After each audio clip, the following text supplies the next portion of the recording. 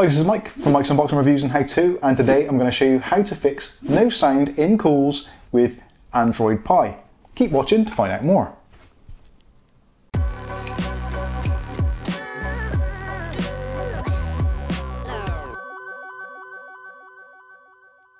Okay, so you've got the problem where someone calls you or you call someone and you start the conversation and they can't hear your voice. Or you've picked up a call, you say hello, and they're constantly giving Hello, hello, I can't hear you. Well, this is a very common thing with Android phones and is mostly related to the Google Voice situation. So I'm going to show you now how to disable the Google Voice recognition so you can gain access to your calls and be heard properly. Now the reason this mostly works is because of the way that Android works. It's basically a layered operating system. So every application lies on top of another. So the main one that you actually want to use is the phone application, but because the Google Voice is actually actively listening out for the keywords, the microphone is actually being used by that application.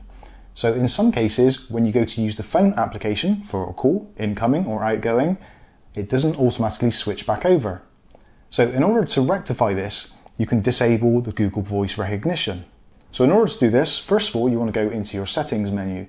Now how you get there may be slightly different on your version of uh, Android Pie. The theory is very much similar. Now this is on a Nokia 8, so I'll be doing the demonstration on that. Like I said, your phone may differ slightly. So the first thing you need to do is to get into your settings cog. Now I've got a shortcut for mine on the desktop, alternatively you can swipe down and choose the cog setting at the very bottom. Now in the search option, you can either scroll down to Google or you can just type in Google at the top if you wish. So press on Google for services and preferences. And then in the section here, scroll all the way down until you see search, assistant and voice. This is the very important bit. So choose that. And now you can go into the voice section. Now this is where Google stores all your settings for your voice prompts. So what we'll need to do is go into voice match.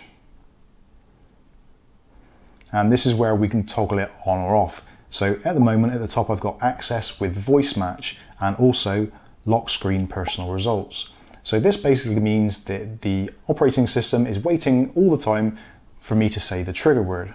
So all you have to do is simply toggle that to be off. Now you can also choose it to be turned off whilst driving. Sometimes your phone will detect you're driving and actually switch over the microphone. Again, if you're trying to make a call or receive a call whilst driving, this can be a pain, so disable that as well. Now, if you want to go the complete whole hog and get rid of all the traces of your voice from the system, you can actually click on the delete voice model as well. This will mean that if you do wish to add the feature back on at a later date, you will have to retrain Google with your specific voice.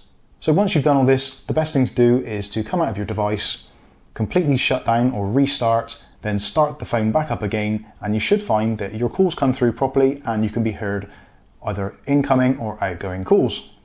So hopefully this has been useful for you. If it has, give the video a like. Don't forget to click on subscribe. And also, if this doesn't clear your problem up totally, there are other videos listed in the description below and also from the cards displayed so you can check out other options to fix the problem.